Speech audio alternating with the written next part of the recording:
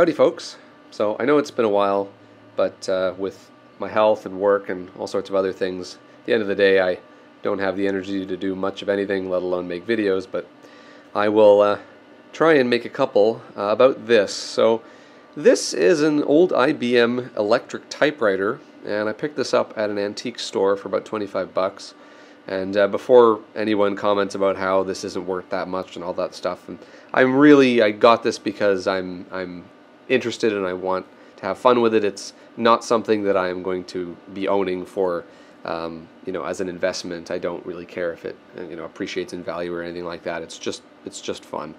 Um, and anyway, so I picked this up. It was sold as non-working condition, and I got it home and I wanted to sort of figure out what this was. Now of course, IBM is really famous for the Selectric um, electric typewriters. Now, this is not a Selectric typewriter. Um, as you can see, it has hammers in it. Um, so this is either in Model A, B, or C, and uh, it's a Canadian-made uh, unit, and so it doesn't have a model number on it. It has all the nameplates, but they don't actually have a model. So I ended up using the serial number to look this up, of course, being an IBM product. I could do that. And so this is a Model A manufactured in 1953, which is the last year they made the Model A before they switched to the Model B. Um, the A, B, and C, they all look the same on the outside. They've just got different internals. And uh, so my goal with this thing is to uh, basically resurrect it and get it working again. I'm not going to be restoring it. Um, so it's not going to look pretty on the outside, but it will work. And that's really what I want. I want to be able to actually type out a document on this and have all the features work. That's my goal at the end of the day. And um, I'm, I've chosen to document this not only because I feel bad for not putting out a lot of videos, but also um, there really doesn't appear to be too much information online about these uh, these older IBM electric typewriters, uh, especially when it comes to repair and service.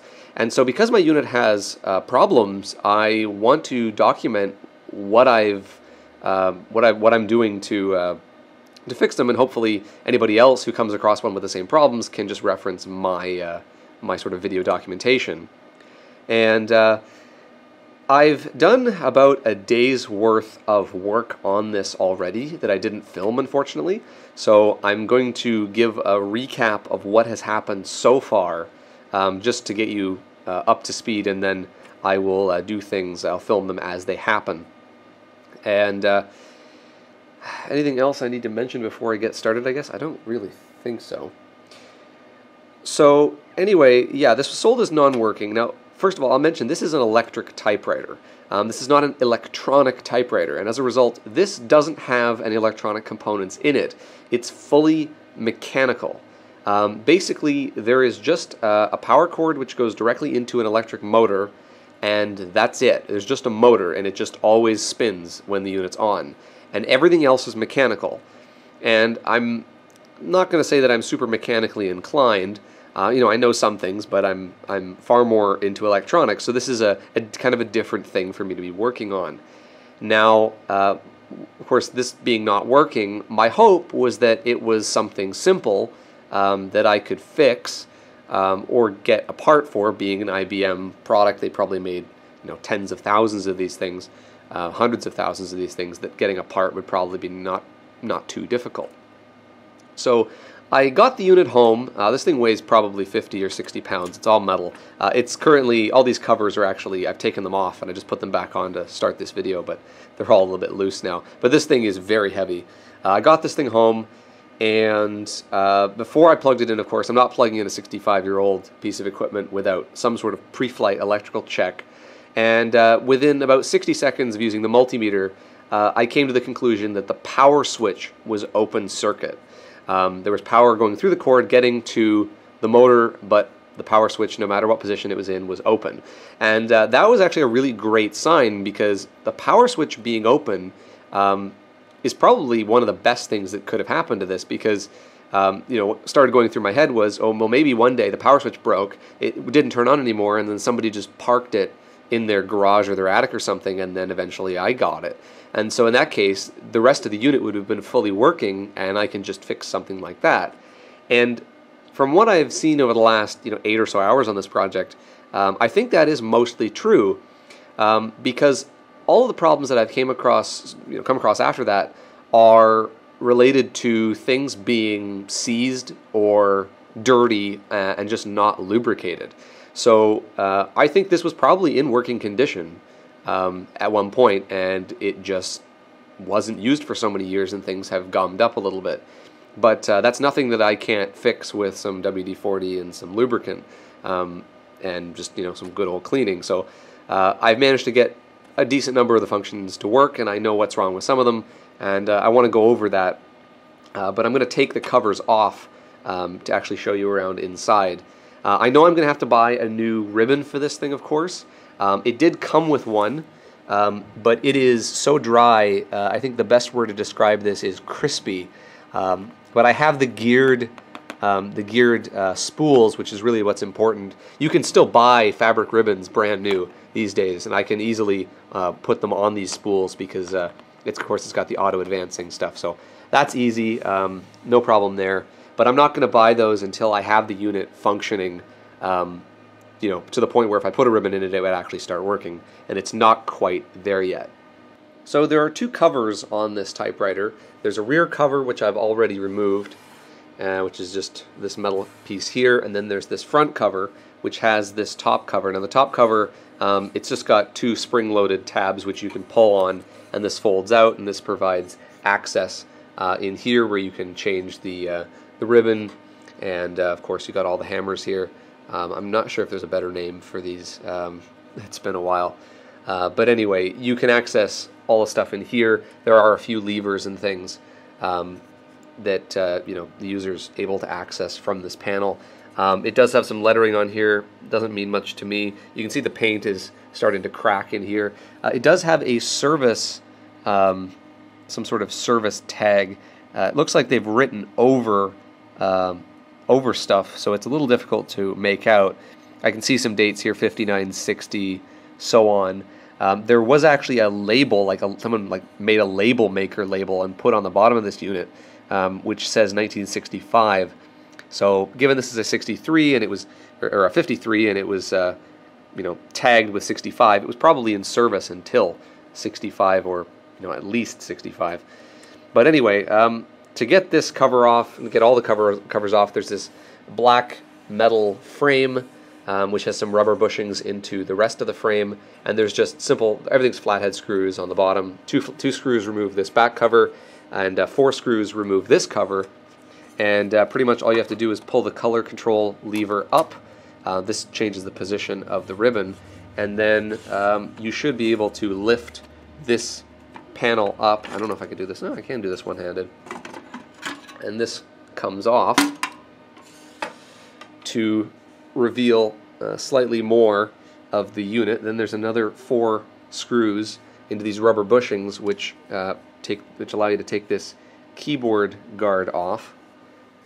And uh, this is about as naked as I've had the unit at this point. And uh, really, the only uh, damage that I've found on this thing so far um, is uh, this control over here Unfortunately, there's a lever that actually is supposed to stick on here and uh, be available underneath the unit for adjusting whatever this is. I, I actually don't really know what this control does. Um, that's, that's another thing I'll mention. I haven't been able to find any manuals for this. So I'm pretty much um, learning how this thing works uh, as I diagnose it.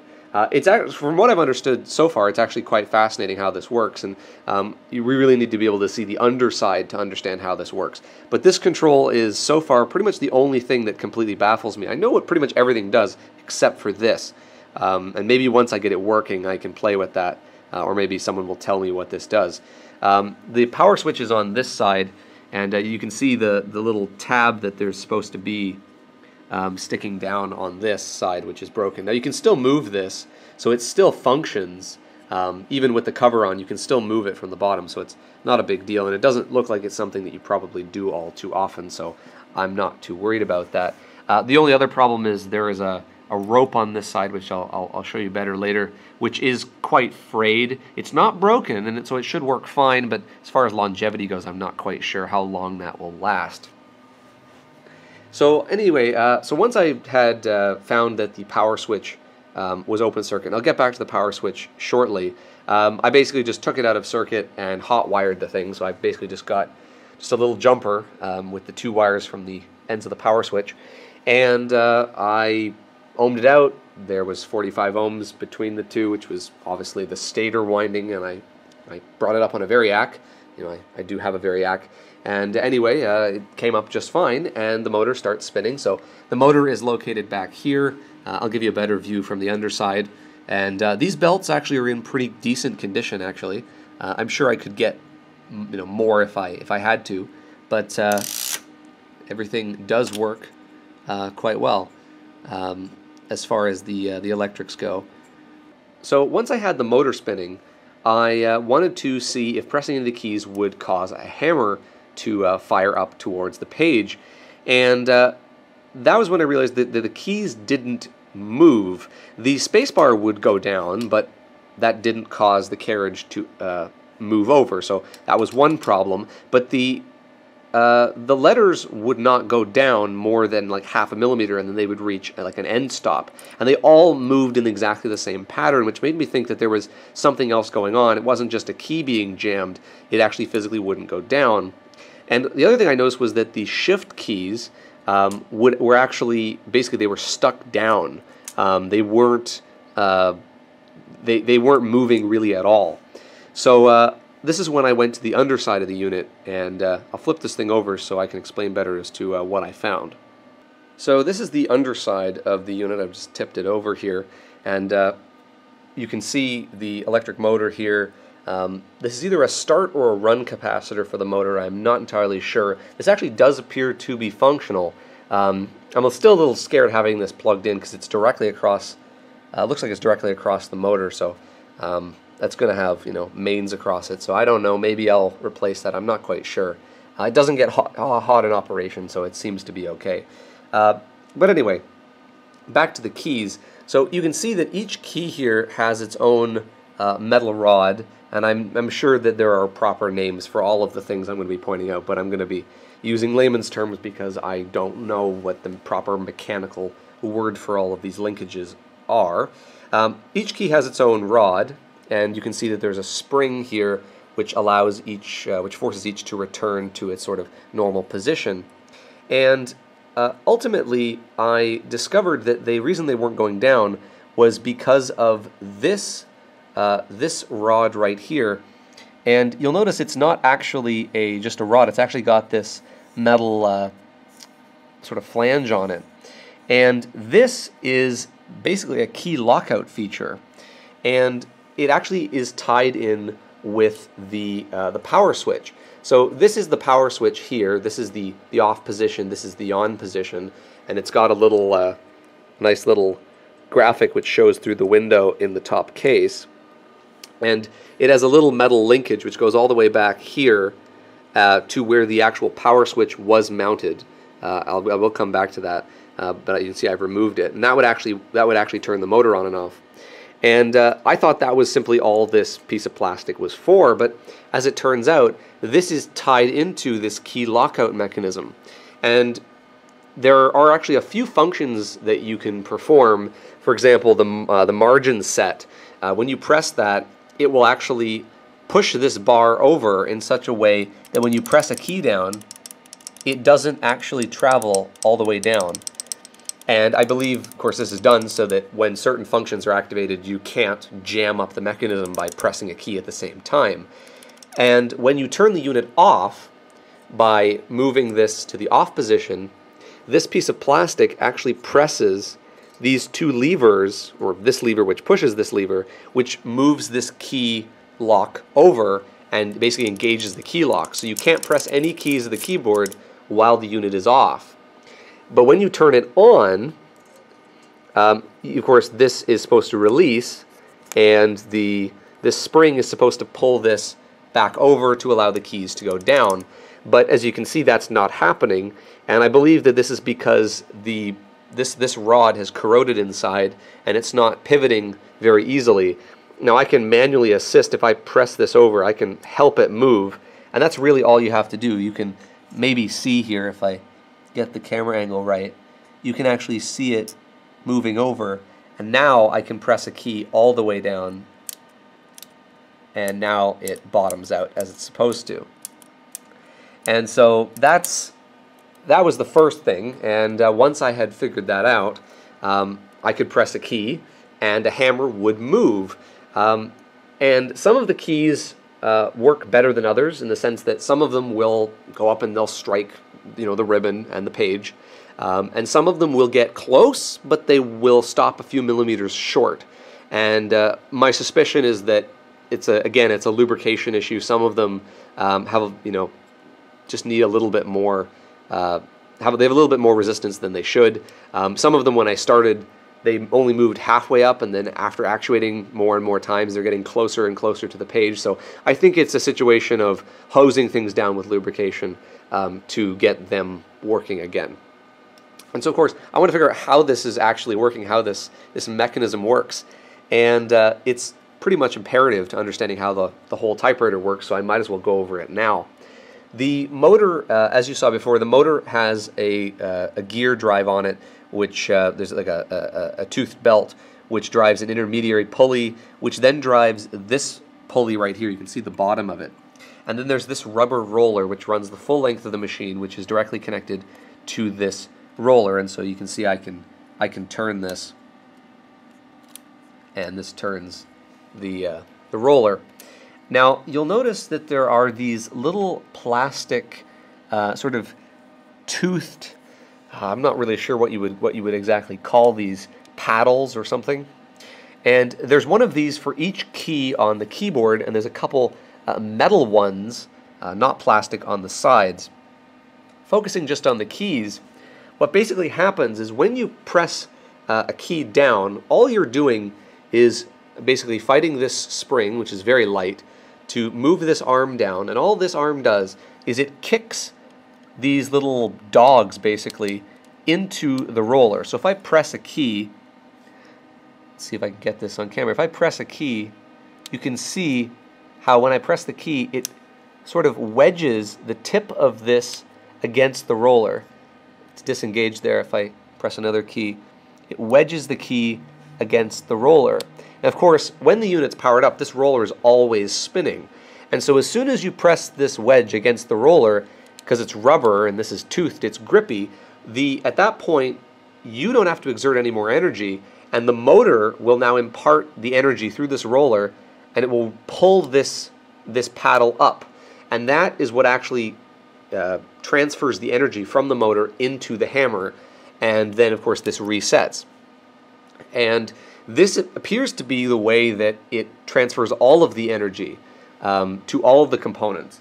So everything from backspace, space, um, advancement of the ribbon is all performed by, if I can get this uh, to be a little bit uh, less bright here, there's uh, metal dogs here, there's three of them on this side, and there's two of them on this side, which do the same thing. So it appears that really all of the, uh, the energy gets transferred through this roller at some point.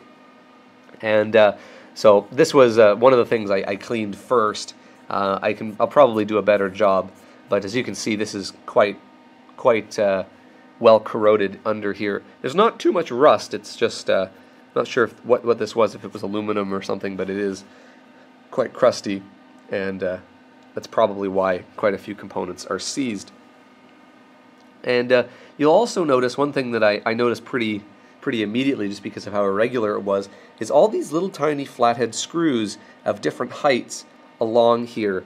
And my suspicion is that this is effectively the calibration for the position of these uh, of these dogs so they catch correctly. And uh, through testing, I've discovered that the R key is the only key that's actually not functioning correctly. Um, and when you hit the R key, basically it catches, it, ha it hammers the page, and then it catches again, hammers the page, and it enters this self-oscillating loop. It doesn't actually disengage. So I'm assuming I can just find that adjustment screw, and I should be able to adjust that so that it doesn't catch uh, repeatedly, and I should be able to fix that. And uh, similarly, these these screws here and these uh, metal um, pins, uh, you can see the three on this side and the two down here. These correspond to the adjustment for the actual metal dogs for the uh, other features. And uh, that is uh, one of the other issues that I have have noticed, but I'll get there uh, once I go through things sort of in chronological order of how I figured things out. So, you know, I found out what was going on with the key lock, and that sort of got me to how does this thing transfer power, how do the keys actually work, and uh, so on and so forth. This is just a, a learning exercise. Um, I'm just sort of replaying what I did in what order. So with the unit on the bottom again, you can see the gear train here. The motor spins here, that's the intermediate gear, and then that's the pulley we were just looking at for the uh, rubber roller. And uh, you can see the, uh, the dogs kind of from down here. There's two on this side, um, and then the other ones are buried quite deep down in there. Uh, I'm avoiding trying to take the whole thing apart. I'm going to try and do as much as I can um, with it kind of in this state. I really don't want to spend uh, too much uh, effort in getting this apart because, uh, you know, remembering how it goes together is uh, going to be a challenge. So as for the state of things, as I sort of played with things, um, as far as the keyboard goes and features goes, um, the all of the keys, like I said, all the keys work. Some of them don't make it to the page, but I think with lubrication I can fix that. The R key has the repetitive triggering problem, which I believe I can uh, fix with uh, adjusting that adjustment. The uh, the shift. So the the reason why the shift keys were stuck down is because the shift lock was stuck.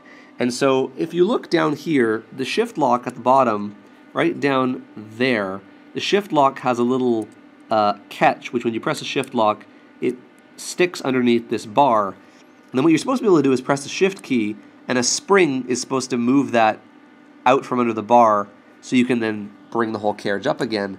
Uh, but unfortunately that doesn't work, so you kind of have to jiggle it to get it free, or like what I've had to do here, to actually reach underneath it and unhook it. So again, I think with some lubrication or maybe a, a better spring, uh, I suspect lubrication though, um, I can get uh, this to disengage automatically.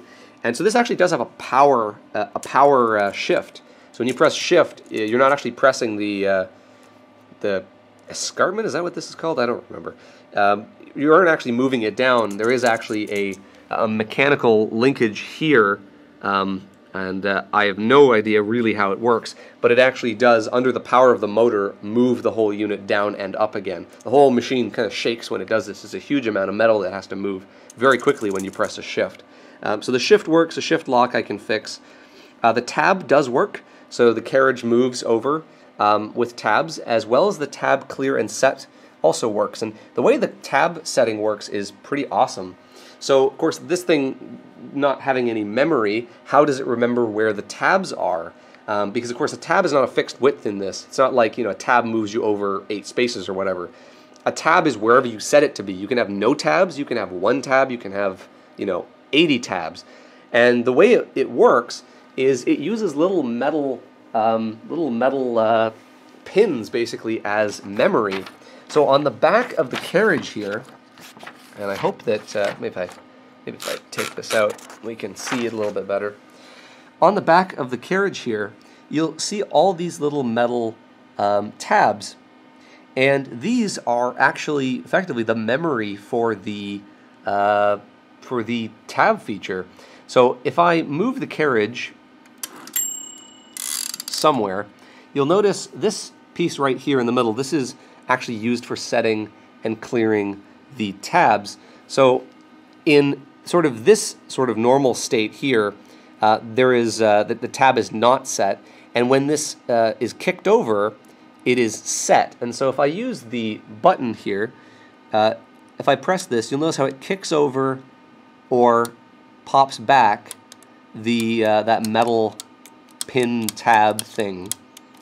Uh, my vocabulary is not great with this video, is it? it basically sets or clears the tab. And you can do this in any position along the entire width of the carriage. So you'll see I've set a couple, um, a couple tabs. Um, you know, there's four or five of them on there uh, just to see it work. But it will tab over to those and stop um, when you press the tab key. So the, uh, the tab feature works properly, which is uh, pretty great. Uh, the color control, really as far as I know, all this does is it adjusts the height of the ribbon um, when it comes up, um, when uh, a character is um, striked against it. Um, I don't believe that this works because I don't see um, the ribbon uh, pieces coming up, ribbon guides coming up. Um, so I suspect that something is seized in this uh, in this. Uh, I want to say circuit, but uh, it's it's it's not a circuit. Um, so something in that mechanism is definitely uh, seized up. The uh, uh, the spacebar does not work, and single character advancement of the carriage doesn't work. So when you press a key and the hammer goes up and strikes the, the page, uh, the carriage, of course, is supposed to move one space to the left. That doesn't happen. Similarly, when you press a spacebar, nothing happens. um, and so uh, I know that the carriage can move left because when I press tab, the carriage moves, um, and it does that under power, but it doesn't do the single uh, character advancement. And uh, only last night, um, literally the last thing I was working on before I went to sleep, uh, I did discover what, what is going on with that. And the space bar, it actually activates one of the metal dogs down here that attaches to that rubber roller. And uh, that is what imparts some energy on it. And then there's a, a lever, which I'll, I'll show you in just a bit, um, that it, uh, it moves and that's what causes the carriage to advance. And I suspect um, that that's also what happens when you press a key. And anyway, the pivot that that lever is on is uh, very hard to move. And I can put a screwdriver and I can move it manually and the carriage advances, but it can't, this little spring on it is not strong enough to move it. So uh, I think there's some, some lubrication. Maybe I'll put some WD-40 to see if I can try and free that up. Um, so it clearly works. It's just, uh, it's not, uh, it's not uh, it's not it's not freely moving enough to do it under its own power. So um, that's uh, a problem that I can solve. Um, the backspace key has sort of a similar problem. You press the backspace key, it sometimes will try to move the carriage back. It'll move maybe half a character back, and then of course it doesn't catch, so it just moves right back to where it was. Um, or other sometimes it'll actually just uh, freeze the carriage completely. Looking at the back of the machine, if you look down here under the uh, under the carriage, this metal piece right here, uh, that is actually uh, in my machine what's getting stuck um, when the backspace uh, basically it causes the carriage to completely freeze. You actually can't even manually move the carriage at all, uh, left or right. And uh, anyway, this this metal ring here um, there's this little sort of folded L-shaped metal um, arm that's supposed to press this this ring, uh, you know, to the left of the machine, looking uh, looking from the front. And anyway, it, it, gets stuck and it's not able to do that, and so I have to manually put a screwdriver in to move it. So it's another lubrication point, but I suspect that if I fix that, the backspace will probably start working again. Um, and then that really leaves me with the carriage return, which is the uh, the last thing that I haven't really totally figured out yet. So the carriage return does cause the carriage to move under power all the way back, um, all the way to the right. Uh, and then, of course, it's supposed to uh, move the paper one, two, or three um, spaces, or uh, lines, should I say. Ugh. I'm doing this on the floor because this thing is so heavy. I don't even know if my IKEA desk would uh, collapse under the weight of this thing. Um, so yeah, this is the line. Of course, this is, this is the line spacing, one, two, or three lines. And it does do that. It does advance. Uh, and sometimes it works fine. And sometimes it actually stalls the motor. Um, it actually, something gets stuck. Something, I believe something's not disengaging properly. And um, I actually end up having to sort of move the motor forward and back and kind of play around with stuff. And then eventually there's some click and then it all frees up again. So I, am sure there's something that has to be lubricated. I just haven't found it yet. Um, that, but the carriage return, it's all functionally working. It just doesn't uh, doesn't work reliably. Uh, as for the rest of the uh, the carriage here, um, of course we've got the uh, the paper feed lever. This just loosens up the uh, spacing in here so you can feed paper in and center and get it all aligned and everything.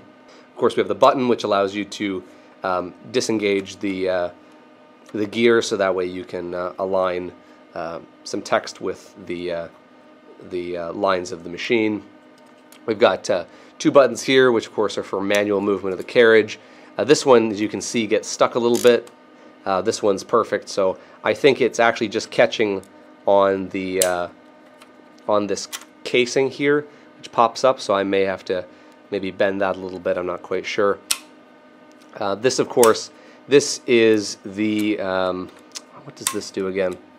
I have now forgotten what this does. Oh no, this is the, uh, this is the uh, gear release. That's what that is. Um, we've got the, uh, of course, the paper guide which flips up. Um, again, another paper guide. This also flips up as well, um, but uh, it's a little difficult with uh, this. I'm not quite sure what order you're supposed to bring these up on because uh, last time I opened this it didn't look like I was doing it right and so I'm going to avoid opening that again uh, just because I don't want to break anything. And uh, this, what I believe this is, has something to do with the, um, it's, I think this is a copy count is what I think this is. Because you'll notice when, when I move this, it very, very slowly, very gradually moves the roller in and out um, closer to here. So I believe um, this may have something to do with uh, making additional copies of a document because I know that was a big feature of these was you could put multiple sheets of paper in here like and and and you could have this thing um, strike with such force that it would create you know multiple carbon copies. That was a big feature of this thing. So I believe that's the copy count. It may also be that this has something to do with the copy count uh, as well. I don't really know. Uh, but this is very clearly decisive, you know, one, two, three, so, so, so on and so forth. It also has a zero position, which is a bit odd. This goes zero to 10, but it's, it's linear. Um, it's just a, uh, it's just a, a linear movement.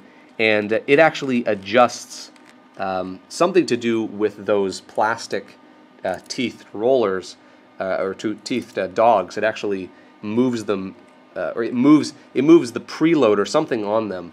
Um, I haven't quite traced how where that goes yet, um, but I will update you once I figure that out. And uh, I think the last thing that I haven't talked about is the margins. So the margin set and margin release. The margin release appears to work. Um, the margin set I haven't really used because when you press margin set, it, it, it engages that key lock bar, which of course um, you have to manually disengage. So I haven't really been playing too much with this because it's a pain in the ass to disengage that. So I'm going to try and get those uh, fixed up. And uh, uh, once I have that working, then I'll, I'll, play around with that. But I suspect that that will probably work uh, fine with you know the necessary lubrication. So yeah, so really at this point I got to fix the single character advancement with the space, the R key, the return, and um, the the color control. I'd like to get this working it's not necessary because I'm probably just going to have an all black ribbon, but you know, who knows. And then there's the power switch. So let me come back to that. So after I realized that the power switch was, of course, integrated with this key lock, I wanted to see if there was a way I could get the power switch to work again. Uh, because, of course, the power switch, um, it has this sort of this, um, if I can get this to focus, it has this nice little pinhole here. And, of course, this is specifically designed to work with that linkage. And, uh, of course, you know, it's going to probably be hard for me to find a switch that would work in the same way. So anyway, it was just riveted together, so I took it apart, and uh, this is what was in the switch. You can see, unfortunately, these these sort of uh, rivet pins are, are are no longer usable, but I can always get a uh, just a little, like a very small nut and bolt to hold the switch back together, and I probably will be because the switch actually looks okay inside.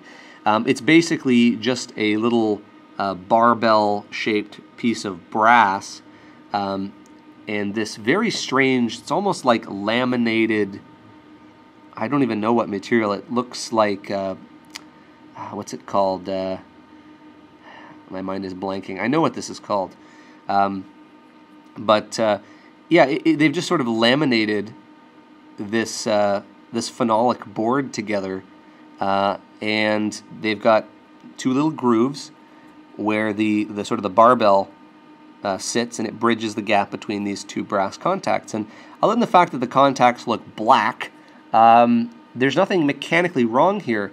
The, the switch looks fine, the, uh, the roller looks fine, uh, and so I think this is just a case of you know uh, contact wear and, oxidiza- and oxidation. So uh, I'm actually going to try and clean this. This is actually going to be the first thing I want to do because I want to get rid of that, that sort of hot wiring I did uh, get those wires tucked back up inside so they stop moving around every time I tip the thing on its side because I don't I don't want to break those wires off.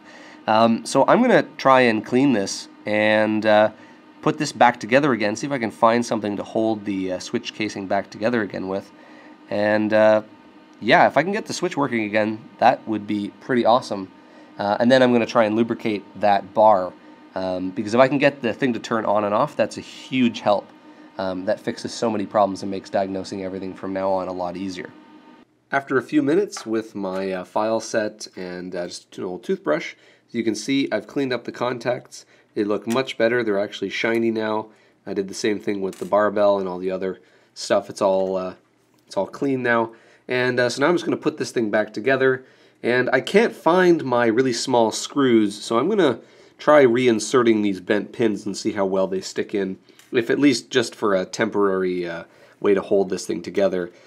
Um, I was thinking maybe even using uh, zip ties if I could uh, somehow file them down to fit through that hole. It's a lot smaller in person than it looks on camera. Um, so I'm not even sure now if the, the screws that I'm thinking of that I can't find would even would even fit. But uh, I'll keep looking for them uh, in the meantime. But I just want to get this back together so I can test it to see if it, it uh, indeed does work properly. I gave up trying to find any more fasteners, and, and I ended up just using a big wrench to force the, uh, the old pins back through the switch. And they actually ended up protruding enough that I was able to flatten them down, again with the same wrench. So I've effectively recreated the, uh, the rivets. And uh, the switch is being held together, and it actuates, and so now uh, it's time to test whether the switch works. So we're on uh, continuity mode here. So let's uh, let's try it out and uh, try and do this one-handed, which is yay. And then we flip the switch. Nothing. Flip it back. Continuity. Cool. So, yeah. Yeah. You get the idea. The switch works. Yeah, switch works. So that's it. We have a working working switch. So uh, I'm really happy that I was able to fix this. So uh, I'll put this back in after I lubricate the uh, that bar, and uh, we should have a working uh, working power on-off system. So I got out probably the oldest can of WD-40 I've ever seen, and some silicone lubricant and I've worked it into all of the points along the uh, the key lock mechanism, and I can safely say that after probably a hundred or so actuations, it now operates under its own power. Uh, it works perfectly now, so I'll just have to reinstall the switch, uh, and I should be able to get a fully working, you know, on-off um, mechanism as it was intended. Now, one thing that I uh, remember I forgot to mention was was talking about the backspace, or uh, not the backspace, sorry, the uh, the single character carriage advancement wasn't working. And uh, I told you that there was something that was seized, and I didn't actually point out what it was. So I've got the unit on its other side now, so the motor's on the top. And uh, the only way to see it is in through this hole right in here. Um, I'm not sure how well the uh, camera is going to see it, but up in there you can see a spring on the left, and uh, there's a little uh, a little tab with a screw going through it, and that tab uh, is what actually uh, performs the single character advance when it goes back and forth. And you'll notice that there's a linkage that's sitting; it's not connected to anything. That linkage um, is supposed to connect to that tab. I've, I've already disconnected that. I did that yesterday, and that linkage goes all the way through to the uh, the second, um, or in this case, the topmost metal dog there and that is uh, what's supposed to contact the roller and start the uh, character advancement. And uh, what was happening was that that uh, sort of um, tab had gotten seized um, so far over that this roller um, would actually this this dog would actually not get it wasn't it wasn't even close enough to contact this roller. And the reason I, I sort of realized this was, of course, these uh, these adjustment points, which I talked about earlier, uh, the point is that you know this this metal tab rests on the screw, and then you adjust the screw, which pushes the tab out, and there's a spring that's supposed to return it uh, to pressing onto this screw. Well, it was actually off of the screw by a good, you know, three or four millimeters, and I couldn't move it either way. And it was because it was actually that that that that tie rod was actually stuck to that uh, that seized uh, uh tab, and that was uh, the whole the whole mechanism was basically stuck on. Uh, and I wonder if that has something to do with why backspace wasn't working and also maybe why the carriage return had problems. So I'm going to try and break that free with some WD-40 and lubricate that. And uh, I think I'm going to call it uh, call it a day. Uh, if I can get that stuff all working, I'll, I'll install the power switch and I'll show you that working. And then of course I'll fire this thing up because I know you're probably thinking, oh God, I've gone so long and he's never going to turn the damn thing on. So I will turn it on after I, I get that done. Okay, so it's been about 45 minutes. Uh, this took me quite a lot longer than I thought. This was substantially more difficult to free up than the, uh, the locking bar. And uh, so basically this rod here, um, I had to W, I had to put a lot of WD-40 into this to get it unstuck. Um, and uh, one thing that really made this possible, of course, of course, first of all, unhooking that uh, that linkage was pretty much necessary. But what I did was I took some coat hanger and I actually bent it and made a little hook uh, in this side, little eyelet. And uh, basically what this does is this this rod, it's a, it's a transfer rod. It transfers power from up here down this rod to uh, this end. And there's a little hook on the end of this.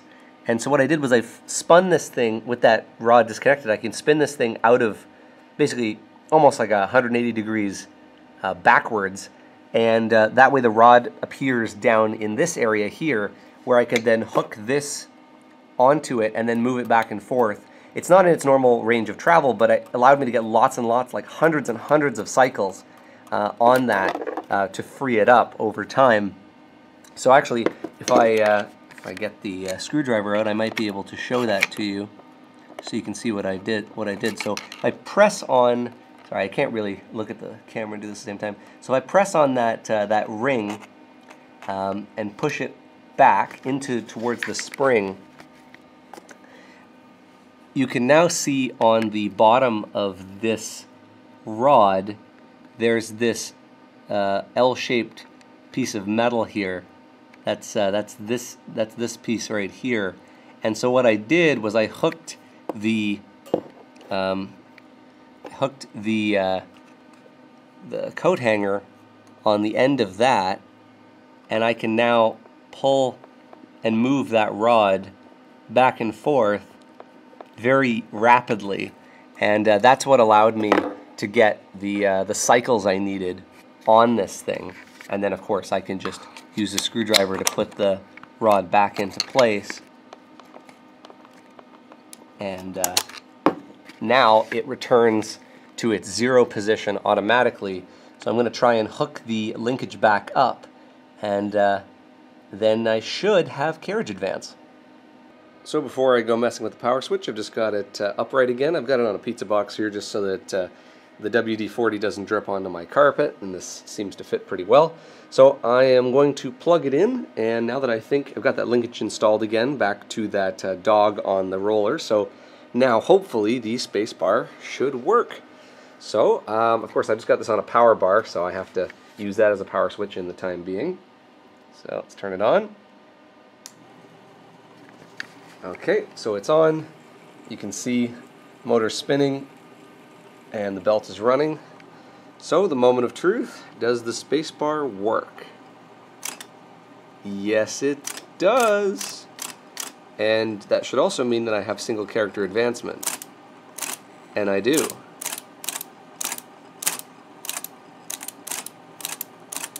Sometimes. It might just, it appears to depend on the character. See, this is one of the characters that doesn't make it all the way, so you can see the F key here makes it all the way, but the G key doesn't make it all the way to the paper, and so it's not triggering the uh, carriage advancement, but if I use the space, it does work. So it's just so nice to see that working. Let's see if the return works, or if it stalls out the motor. Okay, so the return worked there. Um, ah, okay, so we got a problem here. So you'll notice that it doesn't advance the carriage at the beginning. Um, this is a common problem. Uh, I've had this happen on regular typewriters. So if I help this along by pulling on it, I'll use my foot here to press a spacebar. Yeah, so the mechanism's working, but there's not enough tension pulling the carriage. So I think this is, uh, and then yeah, at some point it, it works from then on. So yeah, um, I'm not sure if there's something, uh, it needs to be lubricated or if there's a, a tensioning problem, but uh, I, I've seen this before. So, uh, so it's not perfect, but it seems to work from at least, you know, maybe a quarter or a third of the way onwards, which is okay. So, okay, I mean, that's a major step forward uh, for me. Uh, I am probably going to uh, lubricate the backspace and lubricate the, uh, uh, the hammers and stuff. See if I can get like the G key. Um, I'd really like to see if I can get a method that will make this key start to work again and then I can apply that to all of the keys. I wonder what, what, what backspace will do now. Ah, backspace is working now. Yeah, so backspace is working properly now. I haven't done anything to it. See, it's now going back one space. So clearly, I think the space uh, being all stuck probably prevented the backspace from working. In fact, what may have happened is the space was stuck on, the backspace would then effectively try to backspace and space at the same time, and that's why the carriage would jam. So um, that actually that that fixed that fixed two problems at once, which is uh, quite nice. So uh, yeah, and so just to show you, when you press a shift, it mechanically brings all of the hammers up and down. And you'll notice there's actually a lag from the time that I press it to the time it happens. And that's probably the amount of time it takes for a certain, like, uh, the, the roller to get into a specific position, um, which is quite, quite cool. And so if we, if we look at the, uh, the tab key, yeah, so at the, at the beginning it doesn't work properly, but if I, if I tab over, you can see the tab works, and let's try the return again. It worked again. I wonder, I wonder if this space thing getting stuck was actually uh, behind a couple of the problems. But anyway, so let me install the power switch, and I'm going to wrap up this video. Here's the power switch, reinstalled. So it's got this little cardboard condom on it to prevent anything from touching it. The linkage is reinstalled, and I've just got the two, uh, two cloth-coated wires screwed in. They got nice little eyelets on them, so they're just screwed in. I'll tuck these in here. They seem to be well away from harm. And uh, now when I flip the front, you can hear switch is making contact, and of course our key protect is moving in and out on its own. So I think the uh, power is perfectly done on this thing. And uh, one thing that's kind of interesting to note, which I didn't realize till after I installed the switch, is the switch actually doesn't go in square this linkage is actually on an angle, and so the switch actually has to go on an angle to avoid uh, fouling on the uh, on the, uh, the the bar there. So anyway, let's uh, plug it back in and uh, get it to power on with its own switch now. So here it is, all back, and it's off. And as you can see, the motors are not spinning. And let's flip the switch and see what happens. There we go. So the power switch does actually work after all. It just needed a really good clean. And uh, key lock works. I turn it off. I can't press any of the keys down. Turn it on. And I can press keys. So uh, yeah, it works. The other thing that I want to point out uh, is the, uh, the color control actually does work. So in its all the way down position, and I press a key, you can see that nothing happens to the guides. I move it up to the first position. You can see it moves slightly. Second position moves more, and third position moves the most. So uh, the color control actually does work. I don't know why I'd never noticed that before. Maybe it was just in the always off position. So yeah, um, so that is one thing I don't have to fix. Um, so uh, yeah, really I think the big the big challenge with me is going to be figuring out how to get some of these keys to go all the way up, and of course uh, to get the carriage moving, because um, of course the carriage is not not moving under its own power um, at the beginning. Similarly, the F key now actually doesn't go all the way.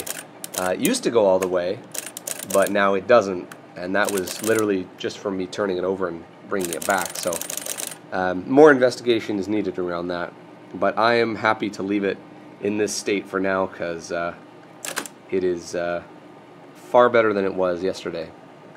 So anyway, uh, hopefully you uh, found this interesting or uh, useful in the event you have one of these. If you've got any information for me, if you have one of these and you've done work on it before, of course uh, I'd love to hear from you. And uh, I'll be making another video probably uh, next weekend or something when I get more time to uh, uh, work on addressing some of the remaining issues. At this point, I think it's I'm confident enough that this thing will work, so I'll probably place an order for a ribbon so that hopefully I, I don't have to sit around waiting weeks to get one once the thing works. Um, so I'll, I'll, I'll order that soon, and hopefully it'll arrive by the time this thing is fully working.